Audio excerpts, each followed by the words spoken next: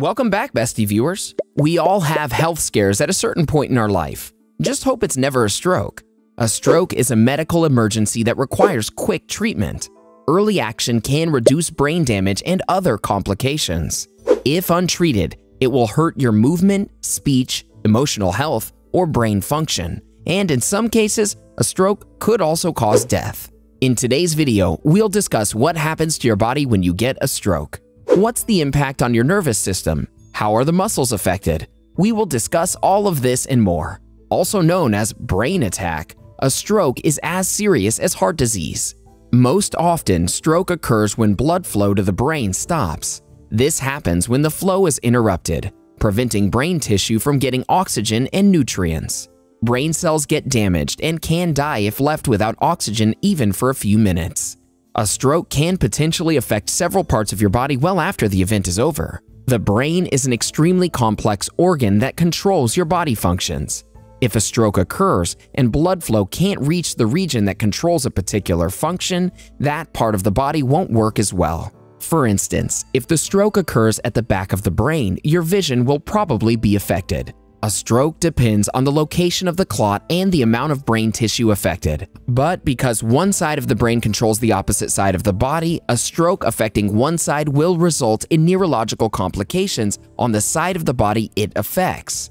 The best chance of reducing damage caused by a stroke is to get medical treatment as fast as possible. Long-term symptoms and recovery time will depend on what areas of the brain were hit. Here's what happens to different parts of your body after a stroke. Number 1 Respiratory system. Stroke is the third leading cause of death in the United States. Breathing issues are quite common after one has occurred. The nature of the respiratory disorder depends upon the severity and site of the injury. These disorders can be caused by the weakening of respiratory muscles and chest movements. The loss of muscular synergy will stop you from breathing as easily as you did. A recent study found that after 36 hours of hospitalization, 15% of stroke patients had acute lung injury, and 8% of those patients developed pneumonia or bronchitis. Acute respiratory distress syndrome also occurs in stroke patients.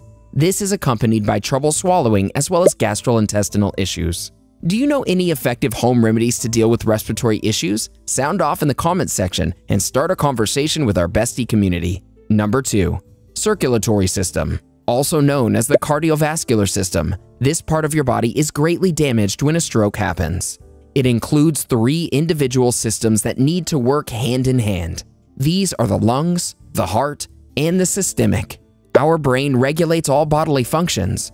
Cardiovascular control is no exception. The effects of a stroke on the circulatory system can be very serious. Sometimes they're even fatal. Studies show that within days following a stroke, heart problems are more likely to occur.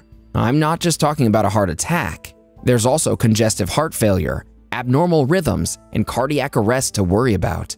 Irregular heart rhythms can cause blood clots. These clots move into the bloodstream. If they reach the coronary artery, they could cause a heart attack. If they reach the brain, they can cause another stroke. Chemicals released into the bloodstream after a stroke will hurt the heart. Feel like you're missing out? Make sure you join our millions of viewers by hitting that subscribe button and staying up to date on all of our great bestie content. Number 3. Muscular system. Depending on the area of the brain damaged, a stroke can hurt different muscle groups. The severity varies from person to person and usually requires rehabilitation to improve. The brain controls both involuntary and voluntary muscle activities. This is done by sending neural signals to the muscles. These messages originate in the motor cortex found in the frontal lobe of the brain. The motor cortex transmits signals to the spinal cord where they reach the motor neurons. These neurons fire, allowing the impulse to travel to a specific muscle, telling it to either contract or relax. When this process is disrupted by a stroke, it can cause harmful changes in muscle function. Hypotonia, low muscle tone, and muscle atrophy are some of the muscular issues related to stroke. Stroke is the leading cause of paralysis. About 34% of paralyzed people have suffered a stroke. Approximately 80% of people who have had a stroke have to deal with hemiparesis. This is the inability to move on one side of your body. About 20 to 40% of stroke survivors experience some form of muscle spasticity. This is when your muscles feel really tight. When you suffer a stroke, the ability for your muscles to perform is limited. Before we move ahead, here's another video you might like. Watch and learn about 5 ways to improve your serotonin levels. Now back to the impact of stroke on your body. Number 4. Nervous system. The nervous system comprises the brain, network of nerves, and the spinal cord. This system is responsible for sending signals back and forth from your body to your brain. When the brain is damaged from a stroke, these messages are not transmitted accurately. You may find it more painful to perform your usual activities. This could be cooking, cleaning, or basic movement.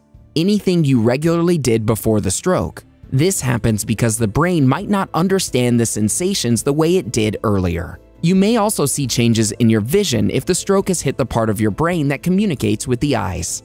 The issues might include loss of vision, losing one side of vision, or problem with moving your eyes. There can also be processing problems. This shows you that the brain is not getting the right information from the eyes. There's an overlap between the area of the brain and their function. Foot drop is a common type of weakness and paralysis brought on by a stroke. This situation makes it difficult for the person to lift the front part of the foot.